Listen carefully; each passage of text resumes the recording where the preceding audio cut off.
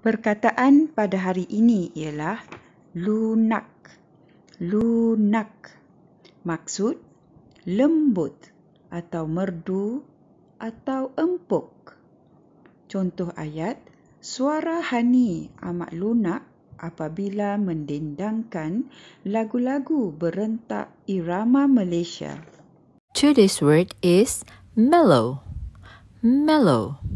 The meaning of the word especially of a voice, pleasantly smooth or soft, or dulcet, or sweet sounding, or mellifluous. The example of sentence She was hypnotized by the mellow tone of his voice. She was hypnotized by the mellow tone of his voice.